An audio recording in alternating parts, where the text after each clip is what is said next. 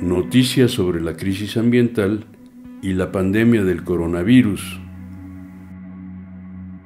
Hoy presentamos El cambio climático afecta el comportamiento de la mariposa monarca. Este año, sus colonias de hibernación usaron menor superficie.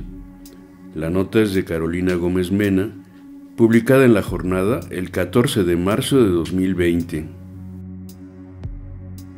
El cambio climático está afectando a la mariposa monarca, la cual cambia algunos de sus comportamientos. Por ejemplo, este año sus colonias de hibernación ocuparon menor superficie que en la temporada anterior en los bosques mexicanos, a los que llegan cada año. Además, han comenzado a regresar antes de lo habitual hacia el norte, lo cual pone en riesgo su alimentación señala Gloria Tavera Alonso, directora regional de Centro y Eje Neovolcánico de la Comisión Nacional de Áreas Naturales Protegidas, la CONAMP.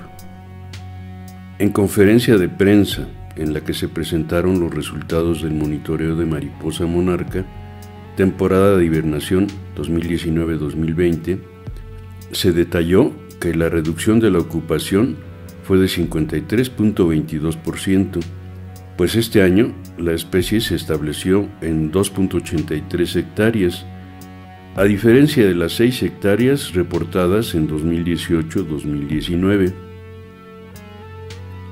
Roberto Aviña Carlín, titular de la CONAMP, expuso que ello no significa que sean menos mariposas las que llegaron, pues el reporte indica que la población es estable y detalló que lo que sucedió es que las perchas se asociaron de una manera mucho más concentrada.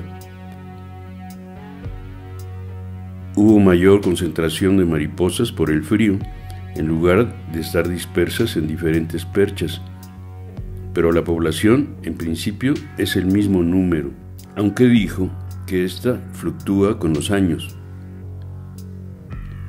Durante la temporada 2019-2020, se registraron 11 colonias de mariposa monarca, tres de ellas en Michoacán y ocho en el Estado de México, que ocuparon 2.82 hectáreas, de las cuales cinco colonias se ubicaron dentro de la reserva de la biosfera mariposa monarca y seis colonias se establecieron fuera de ella. Detallaron que la reserva de la biosfera mariposa monarca continúa siendo un sitio fundamental para la hibernación de la monarca, donde se concentró 87% de la población total de mariposas durante esta temporada. La colonia del ejido El Rosario, que es el santuario Sierra Campanario, tuvo la mayor superficie forestal con 1.27 hectáreas y la más pequeña fue el ejido El Potrero, en el santuario Cerro de la Antena, esta colonia representa un nuevo registro dentro del área de protección de los recursos naturales, zona protectora forestal, Valle de Bravo, Malacatepec, Tilostoc y Temascaltepec. Por segunda ocasión se registró la colonia del ejido Ojo de Agua, se midió la colonia de Atlautla, en el área de influencia del Parque Nacional Iztaccíhuatl-Popocatépetl. Aviña Carlín mencionó que el esfuerzo que se realiza para conservar este fenómeno migratorio es el resultado de la coordinación que tiene México con los gobiernos, la academia y la sociedad civil de Canadá y Estados Unidos desde febrero de 2014, cuando se definió en el contexto de la Cumbre de Líderes de Norteamérica en Toluca un grupo de trabajo trilateral ante el declive de la población registrado en la temporada 2013-2014, que fue de 0.67 hectáreas de ocupación forestal. En las temporadas de hibernación más recientes, las mariposas ocupan en promedio cerca de 3 hectáreas de bosque.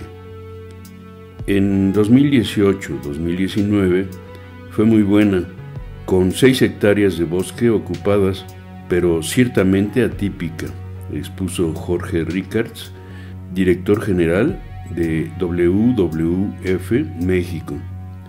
Llamaron a no bajar la guardia en la protección de la mariposa monarca y consideraron que en las actuales condiciones climáticas no es la tala lo que más afecta a estos lepidópteros que recorren 4.500 kilómetros para llegar a México, sino los efectos del cambio climático. Entre 2018 y 2019, el índice de tala ilegal en el hábitat de hibernación de la monarca fue muy bajo. Dijeron que la CONAMP reforzará su trabajo con las comunidades para proteger a este insecto. Producción, Grupo de Estudios Ambientales, Selección, Lectura de Textos y Realización, Marco Díaz León.